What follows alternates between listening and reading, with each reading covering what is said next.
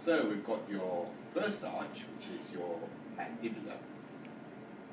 Um, that's going to give off the trigeminal nerve, which is cranial nerve number five. The muscles are the muscles mainly of mastication.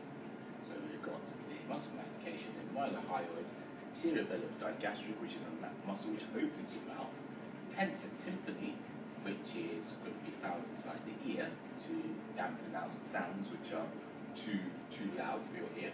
And then we've got um, tensor veli palatini, which is going to be helping with the swallowing mechanism. Skeletal structures from the first arch are the malleus and the incus, so that's the hammer and the anvil, which we pointed to before. Ligaments, the anterior ligaments of the malleus and the stylo, the sphenomandibular ligament. Moving on to the second arch, this is mainly associated with the hyoid bone. Um, you've got the facial nerve, cranial nerve number seven, which comes from there it's going to supply the muscles of facial expressions, the pediis, stylohyoid, and the posterior belly of digastric.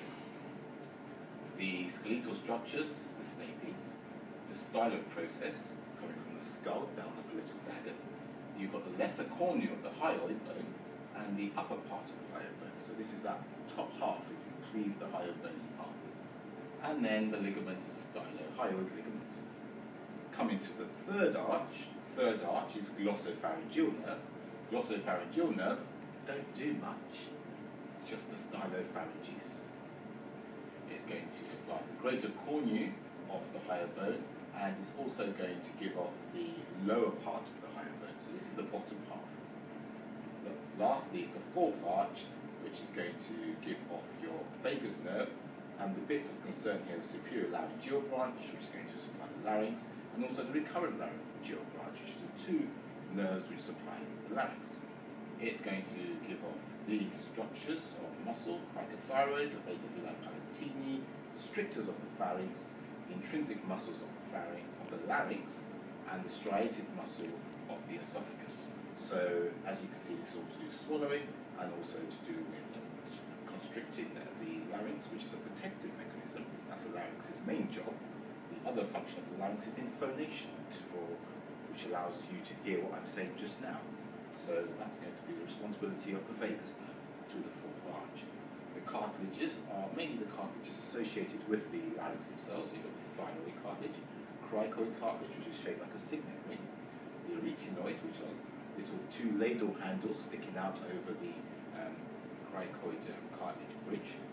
You've got the corniculate cartilage, which are two top of the arytenoid, and the cuneiform, which means wedge, which are just wedged into that membrane between the um, epiglottis and the arytenoid cartilages in the larynx.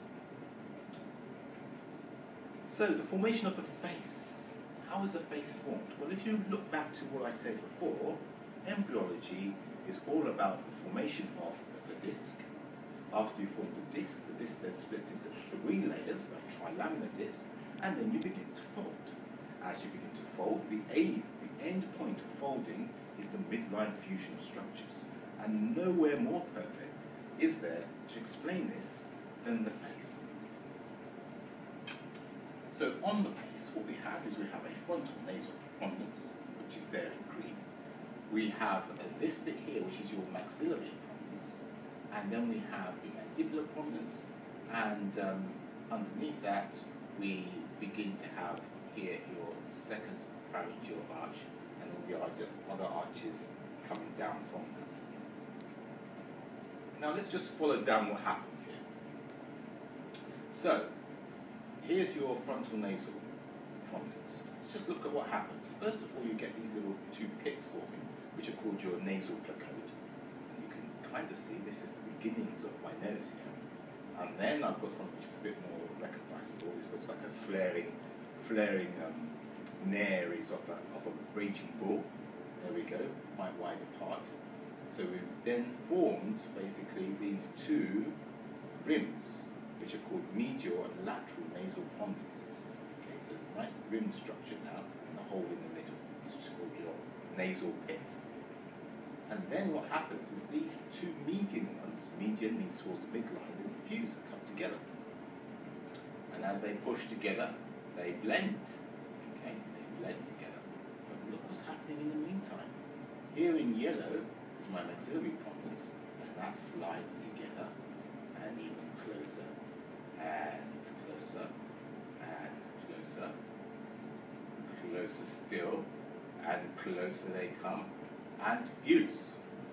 Okay, they fuse, and as they fuse, so too have these um, nasal prominences fused here. And that there is going to form that fusion, which is the philtrum of my lip.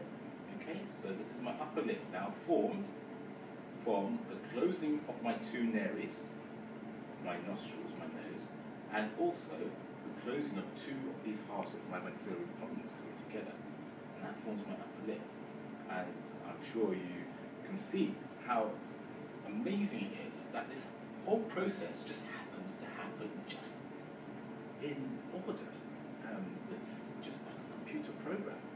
And you can see that, like computer programs, sometimes you can have a glitch. And when you do get a glitch, the consequences can be quite, quite varied in terms of whether these things manage to marry up or not. And that leads to things like our cleft palates and also hare lips, um, which are things we'll talk about in the course.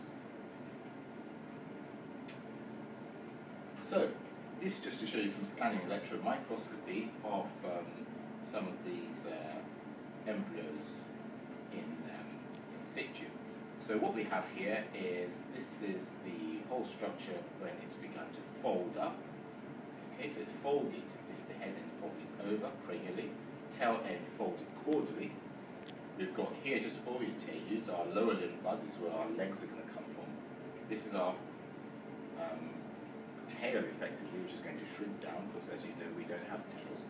These were animals, these would carry on going and getting longer. Um, this here is going to be our upper limb buds, this is where our arms are going to come from. And that there is our heart. Remember, the heart starts up quite far up north, near the head, and it descends down. As it descends down, it brings the diaphragm down with it. And then in here, this is this area where you have these what look like fish gills. Okay, so it's like these slits here, these are these fish gills. And that is what we call our pharyngeal arches. So they're arching round like that, arching round. Um, and this is the head, nasal placode, there's nasal pits, and this optic vesicle. These are the bulges which are going to become the eyes. So now this is it looking right at you in your face. So what we've got here is the eyes beginning to form here. These are the um, those swellings where the eyes are going to come from. This is that maxillary prominence. You see it's still quite far wide apart here. So it's got a little bit of journey to do to meet in the middle. This is the mandibular prominence. This is that second pharyngeal arch, third and then fourth. And what we've done here, you can see this is a roughened edge here, is we've sliced across here. So you otherwise this will be coming right out at you into, into the camera. There's our umbilical vein. Getting nutrients from my slap bang